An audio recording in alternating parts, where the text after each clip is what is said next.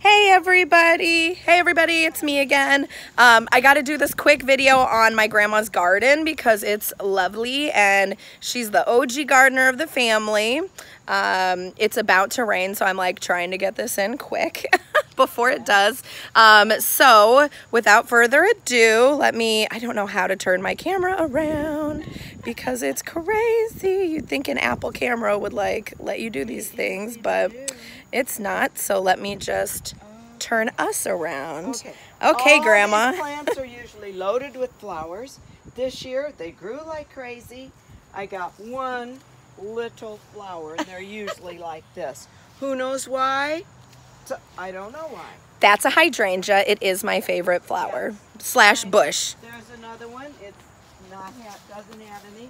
Here's another one. It doesn't have one bloom on it. It's crazy. Here's another lilac. It had a little bitty couple things on it. This was a nutty year for things to bloom. They grew like crazy. Look how big they are. But they're giving us no flowers. This did. This is a pink pink dogwood that was gorgeous. Lots of flowers. Is that the one where It the... comes late and then it gets the berries on it. See the berries? Oh, yeah. See the berry? Oh, they're pretty Yeah, berries. so when the blooms are done, that's really loaded up there with berries. I'm going to trim this this fall so that it's more rounded and then we can see the stuff. Mm-hmm. But aren't these berries cute? They are. They're like Yeah. spotted even. Yeah. I, Now, these types of dogwoods, do they get like the um, white bark that sheds? no, no, that's you're maybe thinking of a peel bark birch. Oh. That's what this oh. is. A peel bark birch. And it It's like paper. all summer long. Just Oh, peel some more off. That's got to be fun to clean Isn't out of the yard, huh? Oh, well, when Jeff cuts the grass, Jeff is my gone. dad, the other gardener. he, it's gone. You know, when he cuts the grass. So let me ask that. you some questions, Graham. Birch color, like a, like those little um, yeah. Indian canoes they used to Oh make. yeah. mhm. Yeah, it's just the birch bark is And that looks like a it lollipop, that little thing. Yeah. So, um, how long have you been gardening? Uh, well, I started when I was probably 21 or 2 because I we lived in a four-family flat with my grandma, Mm-hmm. and she was the gardener. She worked all day, but her garden was so pretty in the back.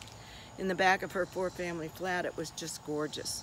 So that's where I started learning some, Uh huh. and then we moved out to Bridgeton in that first little house, and I had plants all along the back of the house, and of dogwood and different ones in the front yard. Okay. And then we moved out here, and I have stuff down the side of the house. Sorry, you have an ant. I don't do bugs. um. So then I was gonna ask who taught you how to garden, my- but I guess my grandma. it was My grandma, so great grandma Schrader. Schrader. Yeah. Okay. Yeah, she worked. She was the head um, housekeeper for the Albert Pick Hotel downtown, St. Louis, Oh. when it was really big. hmm And then, um, then she retired, and it wasn't long. I don't. I don't think the Albert Pick's down there anymore. Somebody bought them out. Yeah. There's some other big conglomerate. Um. What is your favorite plant out here? Well, it's these because these are usually The hydrangea bushes. just loaded. Now, Jenny told me that there's hydrangea trees and bushes. that might be. And these are what are these? These are coral bells. Oh, And do those flower as well? Yeah, these will open up if they can make it before the summer's over. Uh-huh. This must have been a goofy summer. The climate was strange Mhm, for really sure. Strange, but there's another bud there. So if it can make it Yeah. before the season. Oh, there's one down underneath. Well, There. oh, I mean, it's I dying all- away, I but it was there. It was there. Nobody saw me. Um, do you have any tips and tricks that you can share with? No, I'll tell you what, Rapid Grow is wonderful. Make yourself up a big jug of Rapid Grow. And if you want your stuff to grow, just give it some all the time. Mm-hmm. Rapid Grow. Mhm. Rapid grow, like it's just at Home Depot Rapid or Grow. Walmart. Yeah, anywhere you can get it. Look, there's another one sneaking out from under that big bush. Uh, she was telling us that these hosta plants Oh, right here, God, huge ones. and I remember they them. were this big with leaves, I'm sure this wide. Look what's left. Some little animal came in here and chewed off the roots. Those little. And you could just pick this big, beautiful hosta up off the ground and throw it in the trash.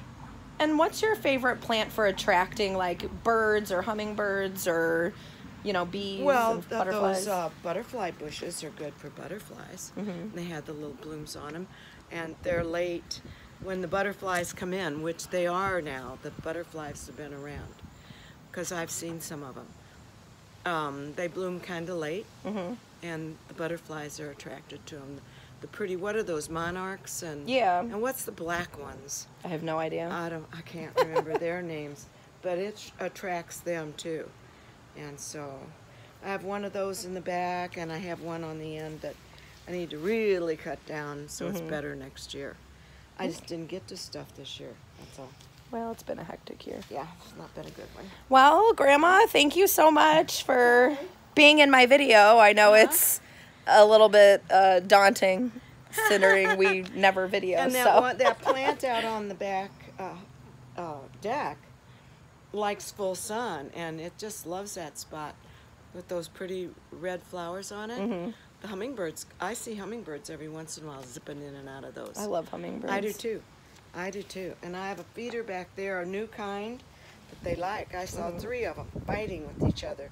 Mm-hmm. And Dad said that, um, so I don't know if you all know, but there are hummingbird, actual hummingbird feeders that you can put like nectar stuff inside of to feed the hummingbirds. Yes. However, there was a an article out You that said that it's it. really yeah, the dye is really bad Yeah, just make for sugar water. They don't. That color, the the feeder's got the color on it. yeah. They can't even see that nectar inside. Okay, so, you just, make do sugar, water. Oh yeah, Okay. yeah. I don't put dye. Easy peasy. Not good. And I don't know if any of you all know, but our bee population is seriously dwindling, Yes. and the bees are really what stimulates our plants to grow and helps And our fruits. uh, our yeah everything especially locally like if you want to see our city still beautiful and our greenways and everything that they've been working the uh, st louis government has been working really hard on establishing please please please do what you can to help out our bee population. So so important. Don't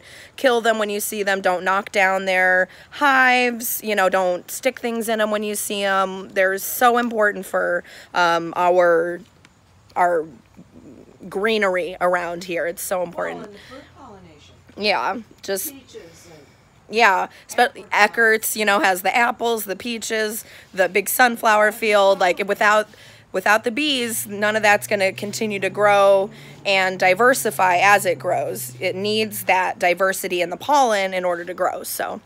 Alrighty guys, well thanks for watching the video. If you have any gardening questions, just put them down below. I'll shoot them out to my grandma and we'll try to get some answers for you. Oh, Alright guys, well thanks for watching. Like and subscribe. Bye.